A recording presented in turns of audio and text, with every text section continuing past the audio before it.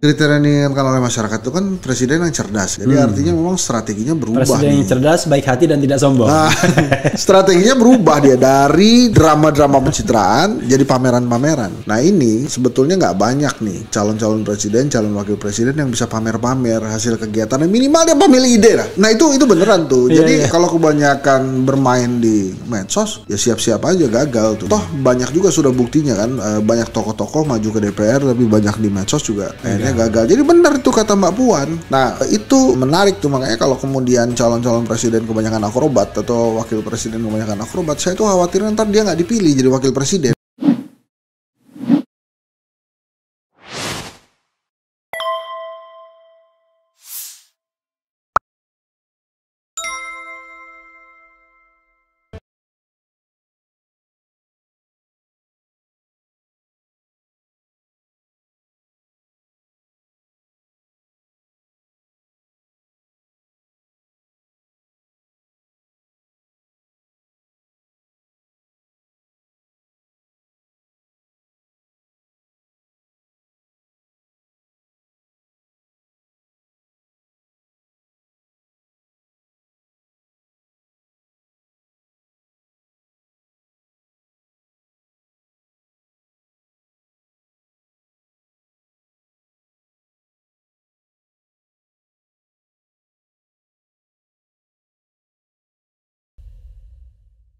Nah itulah menariknya. Tapi itu harus dihitung sebagai sebuah konstelasi. Jadi ada reshuffle, ada pertemuan-pertemuan politik, dan terus kemudian ada munculnya koalisi-koalisi yang lucu-lucu gitu ya. Ini Jadi saya ada bilang komentar gini. Apa? Kalau kalau kalau Nasdem mencalonkan Anies, ya kan? Ah. Semoga yang diundang Metro TV adalah Bung RH dan Bung Henry Satrio, bukan yang Ono. Ya, saya nggak tega nyebut nama. Teman NT juga yang suka survei-survei juga. aduh, aduh, aduh, aduh. Allahu Akbar. Mana Metro TV yang sudah ngeband saya bertahun-tahun. Enggak, enggak, enggak, saya sering diundang Metro TV. Bahkan di beberapa acara yang termasuk acara yang menurut gue, eh, menurut saya ini boleh gue lu gak sih di sini? Enggak boleh ya. Jadi menurut menurut saya salah satu acara Metro TV yang wah banget itu Hot Room yang dipegang oleh Hotman. Hotman Paris. Saya udah diundang juga, tapi saya nggak mau. Oh, iya, kenapa? Itu seru loh, Bang. It, itu ada ada saya merasa nggak nggak kompeten lah bida bida waktu itu ngomongnya ngomong soal TNI apa apa kaitan TNI dengan apa saya bilang nanti aja lah saya kira saya, Oh, oke oke. saya nggak itu Karena Bang Hotman itu memandu acaranya itu kan berbeda. Dia tuh kayak di pengadilan jadi seru gitu. Kadang-kadang ya orang kepelintat-pelintut seleo juga termasuk adik-adik mahasiswa kita itu Iya. yang bilang coba Orde Baru lebih enak gitu ya. Bingung lah dia, dia ada padnya ini Hotman Paris kan. Itu menurut saya salah satu yang terbaik lah. Ini ada ada acara kontroversi, belum lagi yang berita-berita ya prime time Udah gitu-gitu udah lah. oke lah itu. ente kurang lah nonton TV nonton YouTube aja Ah. Gua kalau ngomong gitu tadi saya nggak dipanggil lagi. Jadi tetap nonton TV. jadi gimana gimana nah, tadi ya itu konstelasi-konstelasi itu. Makanya kan ada isu katanya bakal ada reshuffle lagi. Hmm. Reshuffle lagi itu terjadi kalau misalnya Surya Paloh apa Pak Jokowi marah dengan Ya. Surya Paloh karena komposisinya kemarin ada Anies gitu ya. Ya. Nah itu bisa terjadi atau kemudian yang PDI Perjuangan nggak puas gitu kan. PDI Perjuangan kan nggak nambah juga itu Pak Hmm. tapi menurut Bimpi, saya mungkin ya yang jelas reshuffle itu ketika pendaftaran Oh iya iya. iya. karena pendaftaran pasti reshuffle karena kalau dia sudah jadi calon presiden ya udah nggak bisa jadi menteri lagi kan Iya iya iya. gitu ya sebenarnya nggak ada aturannya cuman kebangetan Iya, iya. kalau dia udah jadi calon presiden masih jadi menteri itu kebangetan Dan norak juga sih. Tapi ini ya bang, yang gue seru tuh banyak banget calon wakil presiden. Menurut saya akrobatnya kebanyakan. Akrobat untuk dilihatnya gitu. Iya, Ya, ini to mention yang masuk-masuk ATM lah misalnya. iya, Tapi rata-rata orang-orang yang sebetulnya kita tahu kelasnya wakil presiden gitu. iya. Tapi kemunculannya itu kadang-kadang over melebihi si calon-calon presiden gitu. Karena eh, fasilitasnya memungkinkan soalnya. Kalau yang lain kan tidak memungkinkan kan. Iya, kalau iya, yang iya. Kalau kepala daerah kan dia kan tidak bisa membuat sebuah kegiatan yang nasional. Ah, Berpergian ke daerah lain pun dipertanyakan dipertanyakan orang. ngapain gitu. Ngapain Ganjar ke Papua misalnya Ah, kan iya, gitu. iya. Ada juga suatu saat Ganjar datang ke Sumatera Selatan menengok mahasiswa KKN dengan alasan dia ketua Kagama. alumni Kagama. Tapi orang juga bertanya, loh itu bukannya urusannya rektor. Padahal gini ya. Tadi ya Lah, balik, belum lagi kalau kita selidikin nih biaya biaya SPPD-nya dari mana? makanya itu yang menarik. ya Anies juga ke mana-mana juga kan, Ya makanya waktu waktu pon itu waktu Iya. pon berangkat semua. Iya. Mandalika, berangkat, Mandalika semua. berangkat semua. Supaya emang dimanfaatkan itu untuk bertemu rakyat. Saya diundang gubernur NTB aja nggak mau datang Mandalika Oh, ya Pak Zul. karena saya nggak hobi balapan. Tapi itu menarik lah, selalu menarik.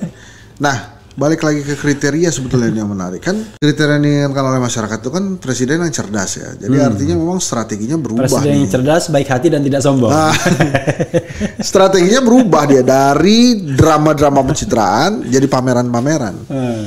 Nah ini sebetulnya nggak banyak nih calon-calon presiden, calon wakil presiden yang bisa pamer-pamer hasil kegiatannya minimal dia pamer ide lah. Pamer ide itu udah wah banget, sudah bagus banget.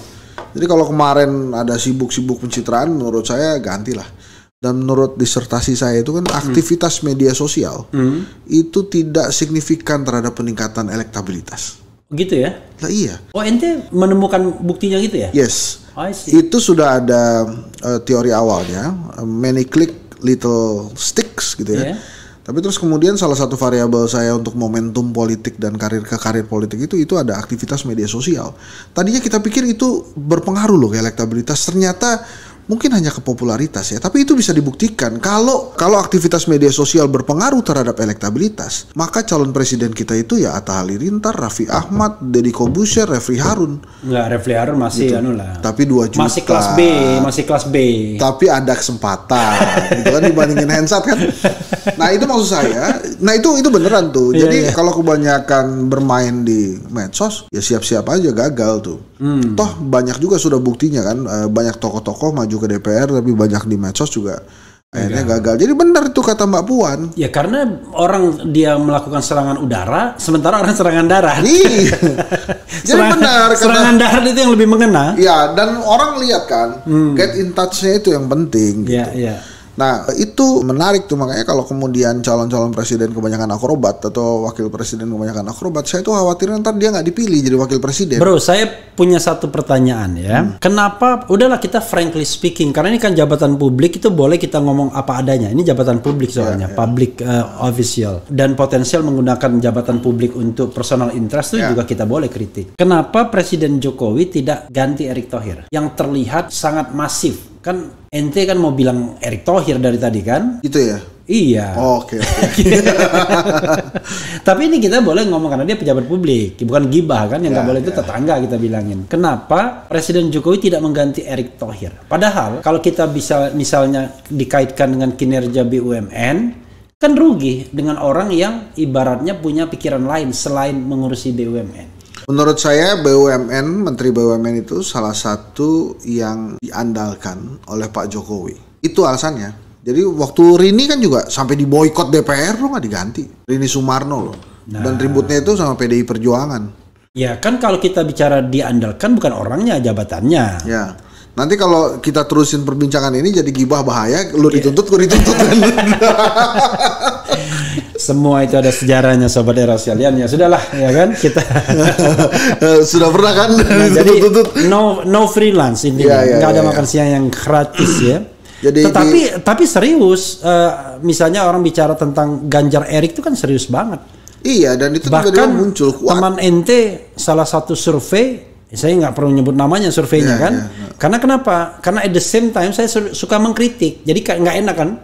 Bilang ini surveinya itu saya baru bisa percaya survei kalau dia mau deklarasi dari mana sumber dananya. Ah, Kalau dia yang sumber dananya nggak mau deklarasi, saya nggak akan percaya survei itu. Hmm.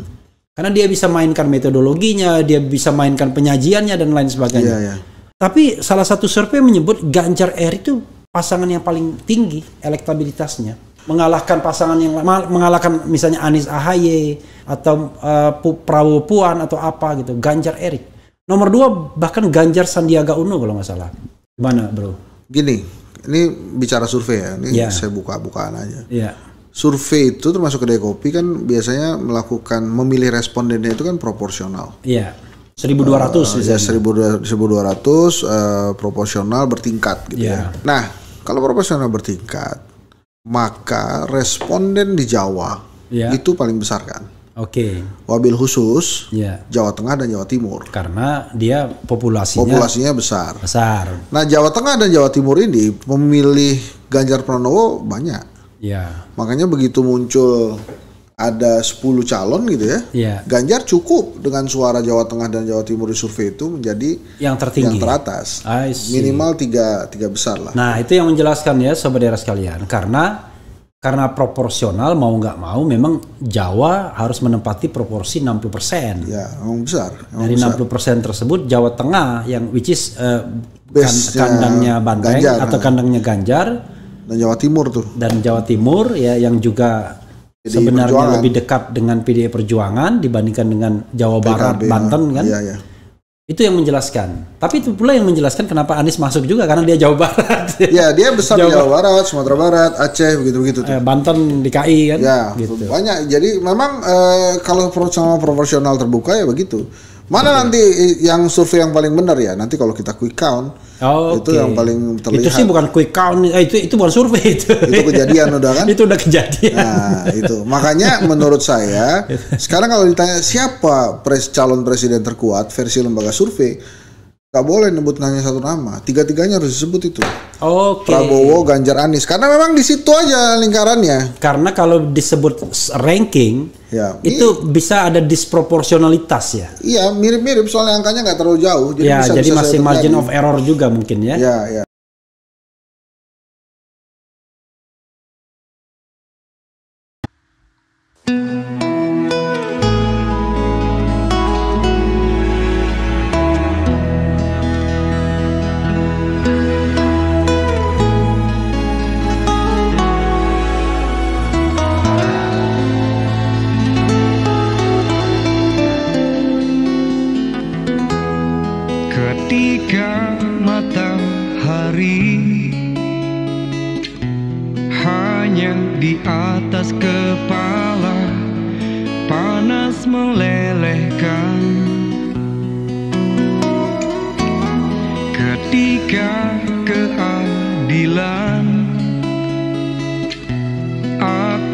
Ditegakkan di hari akhir zaman.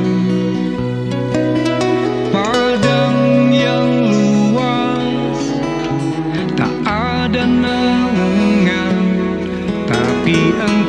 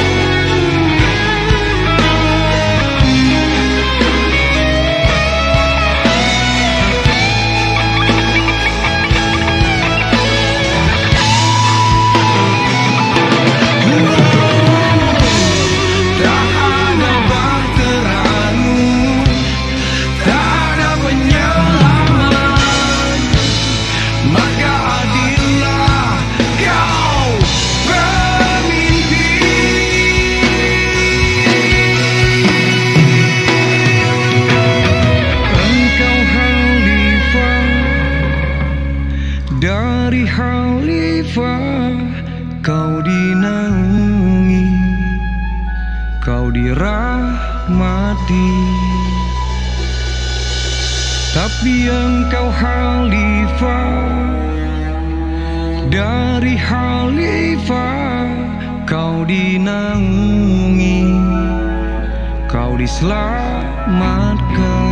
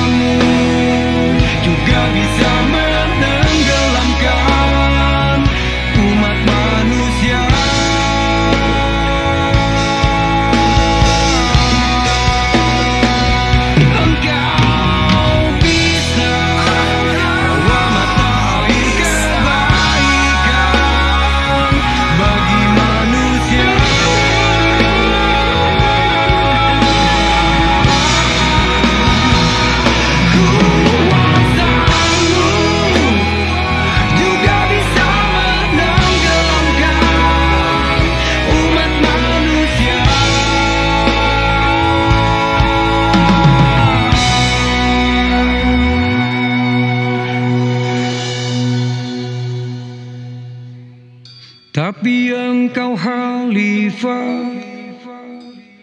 Dari Khalifah kau dinaungi kau diselamatkan